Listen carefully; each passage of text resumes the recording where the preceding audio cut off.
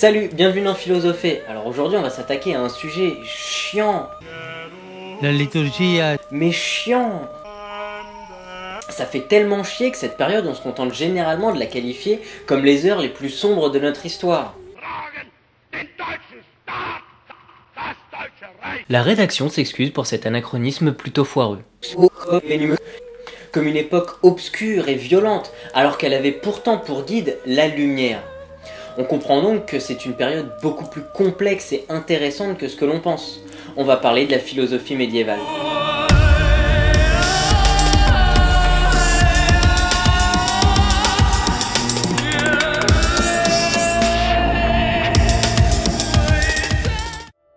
Le Moyen Âge désigne une longue période d'un millénaire pas bien définie, mais on peut dire du 5e au 15e siècle. Vu dans l'imaginaire collectif comme un temps obscur et violent, il a commencé à l'effondrement de l'Empire romain, et de ce qu'on a appelé d'une façon gentiment xénophobe les invasions barbares, pour s'achever par l'avènement des homonymes des Tortues Ninja et avec eux la Renaissance. Les images négatives abondent On évoque aussi un temps dominé par deux fois religieuses conquérantes, celle de l'Occident chrétien, qui ont la sale manie de foutre des petites croix sur les bâtiments de ces sales païens de progressivement toute l'Europe, et celle de l'Orient musulman, eux, c'est les croissants. Mais au-delà de ces images simplistes, que de complexité, de bouillonnement culturel, de questionnement sur l'homme et sur ses rapports à Dieu et à la nature, qui ont jeté les bases sur lesquelles s'est bâtie la vision moderne du monde. Les textes de ces périodes sont pleins de questions fondamentales. La logique et l'argumentation, le problème des universaux, la structure et la connaissance de la réalité, la théorie du jugement et celle de l'identité personnelle du sujet. L'un des courants majeurs fut la scolastique. La scolastique est l'étude de la Bible et des textes sacrés comme ceux de Saint Augustin par exemple. C'est une institution du savoir de cette époque qui étudie les relations entre raison et foi. Une foi qui naît de la révélation de Dieu. C'est reconnaître, voir la vérité dans son absolu. Les chrétiens croient en un Dieu, esprit unique et absolu, tout-puissant, éternel, créateur du ciel et de la terre, des réalités visibles et des réalités invisibles. Pour aller plus loin, on va donc s'attarder sur deux auteurs qui ont marqué la scolastique et qui sont tous deux à une extrémité de l'époque médiévale, Saint Augustin et Thomas d'Aquin. Saint Augustin d'Hippone naît dans ce que l'on considère aujourd'hui le souk d'Arras, en Algérie, le 13 novembre 354 et meurt le 28 août 430 à Hippone. C'est un philosophe et théologien chrétien romain de la classe aisée. C'est l'un des quatre pères de l'église occidentale et l'un des 36 docteurs de l'église. C'est-à-dire qu'il pèse dans le game chrétien. Thomas d'Aquin est né en Italie du Sud en 1224-1225, on ne sait pas bien, et il meurt le 7 mars 1274. C'est un religieux de l'ordre dominicain, célèbre pour son œuvre théologique et philosophique, considéré comme l'un des principaux maîtres de la philosophie scolastique et de la théologie catholique, et plein d'autres titres honorifiques chrétiens comme euh, docteur angélique, carrément. Ces auteurs, pourtant tous deux chrétiens, sont très différents ils vont nous permettre d'aborder un petit peu la complexité de cette période de quand même 1000 euh, ans, rien que ça.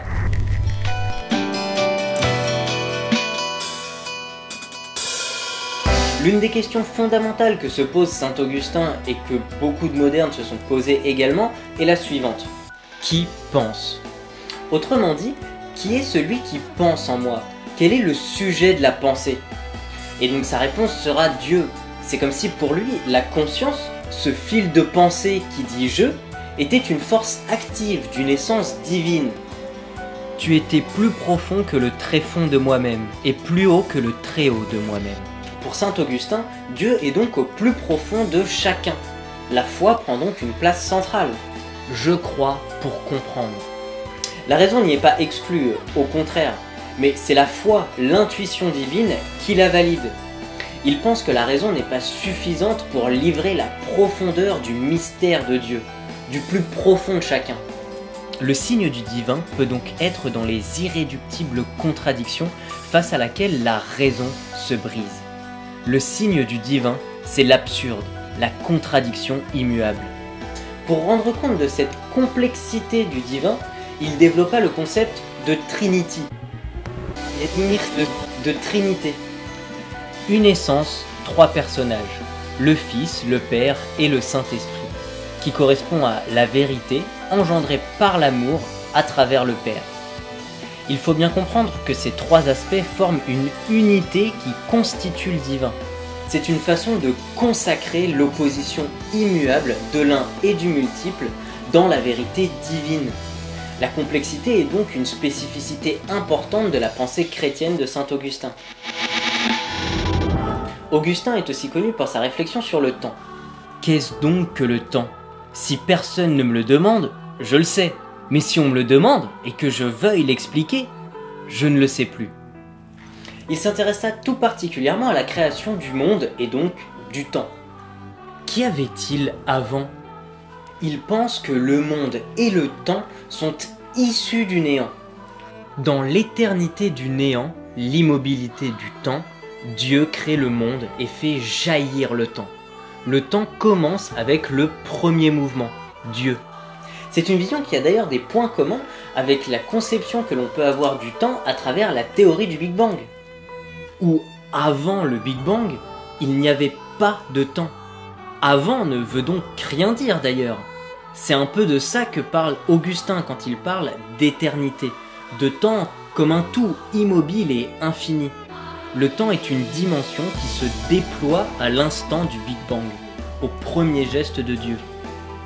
Mais Saint Augustin aborde aussi le temps d'un point de vue subjectif. Il s'étonne face à cette évidence. Le passé n'est plus, l'avenir n'est pas encore, et le présent n'est qu'une limite ponctuelle entre les deux. Il fait alors un parallèle entre la force qui meut le temps, Dieu, et notre subjectivité, notre intériorité capable de cerner la temporalité, de passer de demain à hier. Notre volonté est de la même essence que cette force continue qui engendre le temps. On appelle monde, en effet, non seulement cette création de Dieu, le ciel et la terre, mais également tous les habitants du monde sont appelés monde. Dans ce parallèle, Augustin développa donc une trinité intérieure, mémoire, intelligence et volonté. L'intellect lui-même a besoin de la volonté pour le pousser à l'activité. Il accordait une place importante à la volonté et à la responsabilité des hommes. Cet accent ira d'ailleurs croissant avec l'âge. L'homme doit accorder sa volonté avec la volonté divine. Il doit l'incarner. L'homme doit faire le choix, vouloir agir comme le veut Dieu, qui murmure au plus profond de chacun. Pour conclure, je vous donne donc une dernière citation d'Augustin qui, malgré son lexique immobilier, n'est pas un slogan d'agence immobilière, mais plutôt une synthèse de son Dieu intérieur, complexe et force active, volonté. Ne place pas ton amour dans la création, mais habite le Créateur.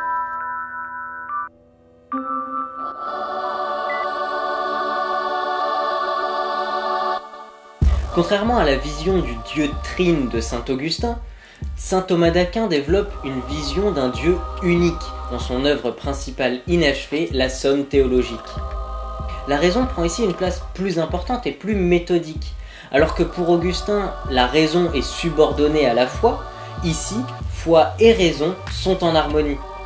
Cet aspect absolu, unifiant qu'il attribue à la raison apparaît d'ailleurs très bien dans sa théorie de la connaissance.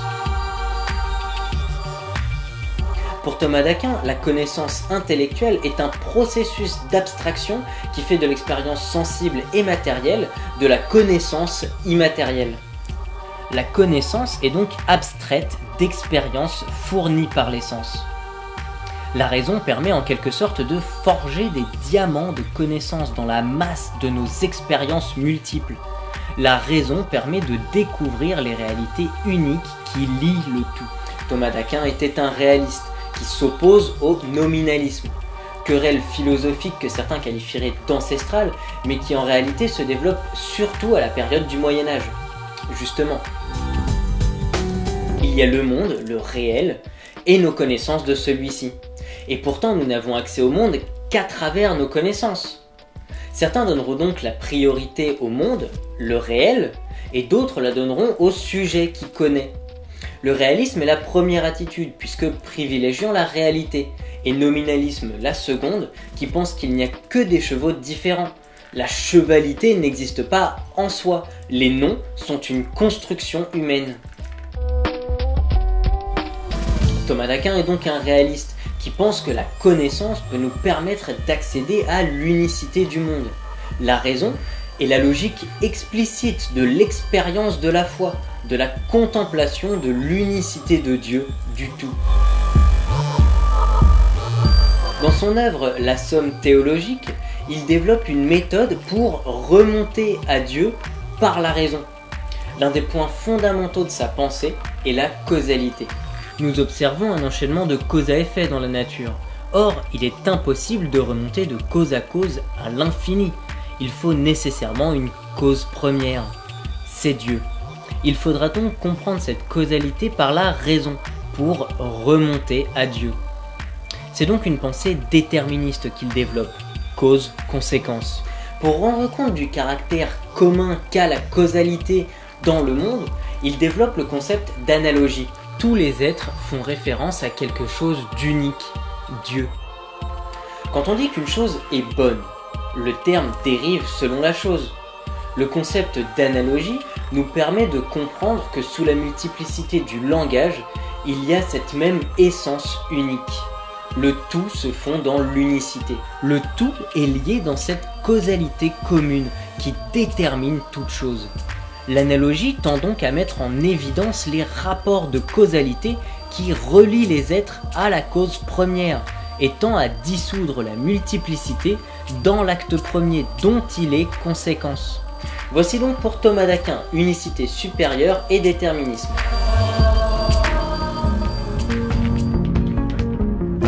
Malgré qu'ils soient tous deux de grandes références chrétiennes, on peut voir qu'ils s'opposent fondamentalement sur certains points. Pour saint Augustin, l'approche intérieure de Dieu, centrée sur l'individu, met en avant sa complexité et l'importance de la volonté, alors que pour saint Thomas d'Aquin, c'est une approche de Dieu qui se veut plus objective et qui met alors en lumière le déterminisme de la cause première et son unicité, sa simplicité. Ils n'ont pas la même approche du monde, mais de plus, cela les amène à des réponses profondément différentes. On s'aperçoit donc de la richesse de pensée de cette période, qui est loin d'être homogène dans ses idées. En même temps, euh, mille ans, euh, c'est même plus une période, c'est un fourre-tout. D'ailleurs, rien que le découpage des périodes, plus c'est loin, plus c'est large. Attardons-nous donc un peu plus sur la réalité matérielle de cette période pour comprendre la force et l'importance de la philosophie médiévale.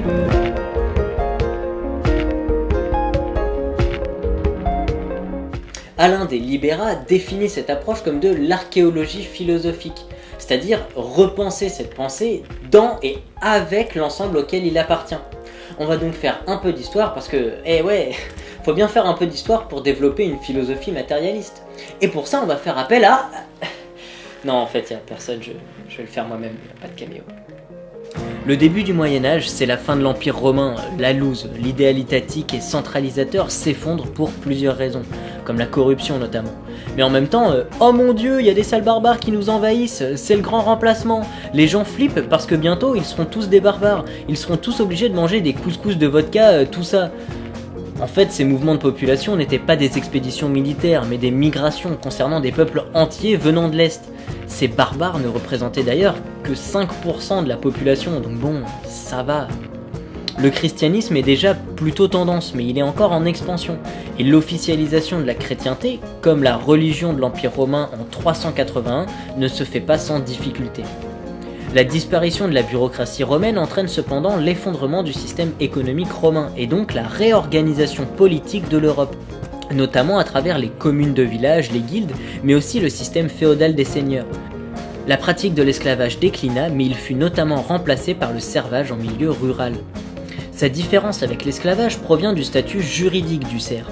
Il n'est pas assimilé à une chose comme l'était l'esclave, mais il ne dispose pas de pouvoir politique. Donc pour les seigneurs, euh, c'est pas des meubles, mais ils ferment leur gueule quoi. Puis du 5e au 12e siècle, et même jusqu'au 15e siècle, en plus de communes de villages, sous les noms des guildes, unions de métiers, d'amitié, de fraternité, d'universitas, etc., des unions pullulent pour la défense mutuelle, pour venger les offenses faites à chaque membre de l'union et y répondre solidairement, histoire de dépasser la politique du flashball antique euh, œil pour œil. Et donc toutes ces teams s'organisent pour la pratique des métiers, pour se secourir en cas de maladie, pour la défense du territoire, pour empêcher les empiètements de l'autorité naissante, pour le commerce, pour la pratique du bon voisinage, pour la propagande. Pour tout en un mot. Le genre de truc que l'Européen éduqué par la Rome des Césars, des papes, demande aujourd'hui à l'État. Cette double institution des communes de village et des fraternités librement jurées prospérait en dehors de toute influence romaine, chrétienne ou étatiste. Puis les seigneurs, durant plusieurs siècles, avec l'appui de la chrétienté, détruisirent ces liens de solidarité, par la violence ou par la ruse et la négociation, gangrénant les guildes par la bureaucratie et la hiérarchie, pour soumettre chacun à ces nouvelles autorités centralisées, qui seraient la base de nos États modernes, que les bourgeois se sont entre-temps accaparés. C'est une phrase beaucoup trop synthétique pour de tels événements, mais reprenons maintenant notre Augustin et notre Daquin. Augustin développe donc sa philosophie pendant l'effondrement de l'Empire romain et à une période d'expansion de la chrétienté. Il développe une critique spiritualiste de la chute de Rome. Ce n'est pas l'organisation verticale, impérialiste, ce n'est pas la structure, mais les individus corrompus qui sont la cause de cet effondrement selon lui. Parce qu'ils auraient quitté le bien, la vérité de Dieu. Car cette vérité nécessite la volonté de persévérer vers elle.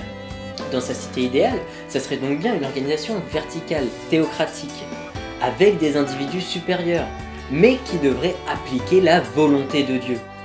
Cette critique permet d'épargner le système et l'idéal étatique de Rome et de la chrétienté qui travaille justement à acquérir plus de pouvoir politique à l'époque. Mais dans son œuvre La Cité de Dieu, il nous dit quelque chose de plus. Pendant son pèlerinage sur la terre, cette cité céleste recrute des citoyens dans toutes les nations. C'est un autre visage de la chrétienté qui s'affirme dans cette citation.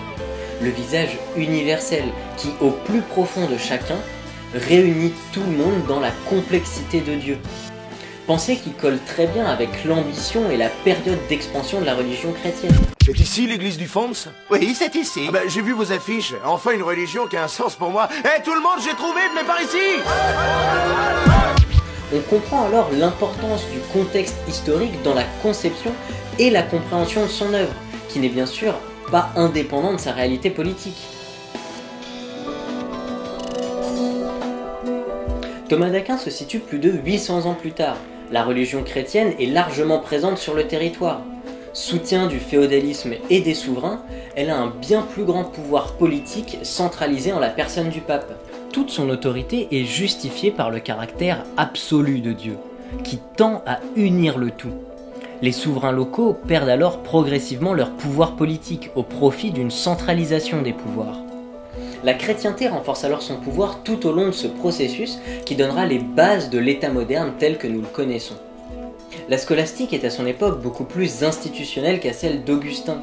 L'importance qu'il donne au grec et donc au déterminisme lui permet de développer un propos beaucoup plus rigoureux, méthodique, qui correspond justement à l'autorité de savoir dont a besoin l'Église à cette époque. Veuillez vous lever. Asseyez-vous. Que le fun se soit avec vous. Et aussi avec vous. Disons cool. C'est justement l'une des raisons qui peut nous permettre de penser les liens et la continuité entre la philosophie médiévale et la philosophie moderne avec la science pour Daquin et l'importance du sujet pour Augustin.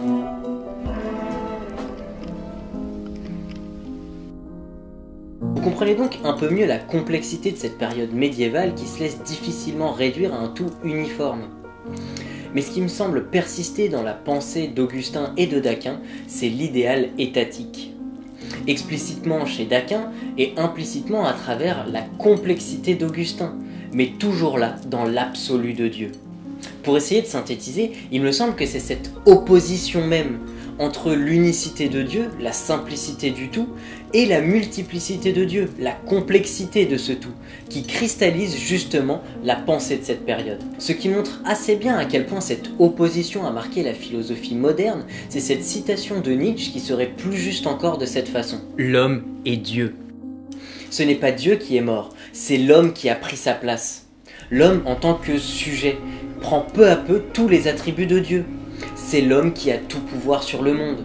C'est dans cette critique que se place justement Bakounine, qui n'écrit pas littéralement ça. C'est Dieu qui est la source de toute autorité humaine. C'est sur Dieu que repose tout pouvoir. Il faut donc nier Dieu. Moins parce qu'il n'existe pas que parce que son existence est incompatible avec la liberté de l'homme. Voyez donc que le problème n'est pas Dieu ou son existence, mais la construction et l'utilisation absolue que l'on en a faite. Le problème ce n'est pas la spiritualité, mais l'Église, l'État. Il faut donc savoir différencier concepts spirituels en rapport avec la vie, son sens, le cosmos et tout ce qui nous dépasse, et l'Église, la structure politique et son impact matériel pour comprendre les relations entre les deux. En tant que poésie cosmique de poèmes logiques, Augustin et Daquin, ça peut être sympa. Hein. Voilà, des fois moi aussi je lis des phrases spirituelles, je fais waouh, l'univers, tout ça.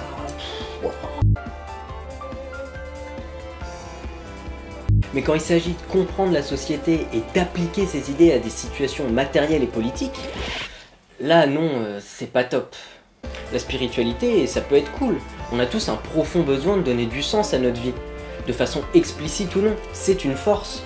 Beaucoup de discours spiritualistes sont une bouillie qui veut tout et rien dire. Mais cette force, travaillée par la philosophie, peut aiguiser notre capacité de liberté, de s'auto-déterminer. Cette force peut être un outil pratique qui peut nous asservir comme nous libérer. Cette force peut légitimer une oppression, qu'elle soit sacrée, d'État ou autre. Mais nous pouvons sculpter une spiritualité qui brise les chaînes des oppressions. Une spiritualité qui ne soit pas le délire de l'esprit, mais qui plutôt s'ancre dans une réalité matérielle.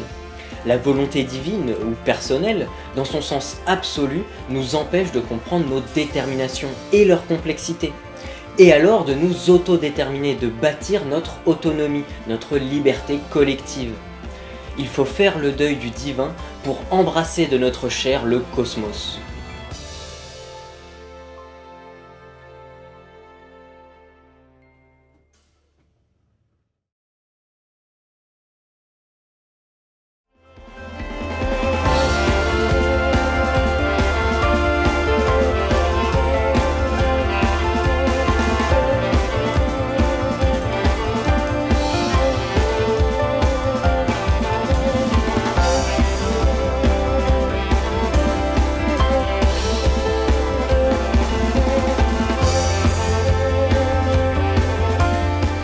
Comme la dernière fois, on va faire un petit jeu, vous répondez dans les commentaires.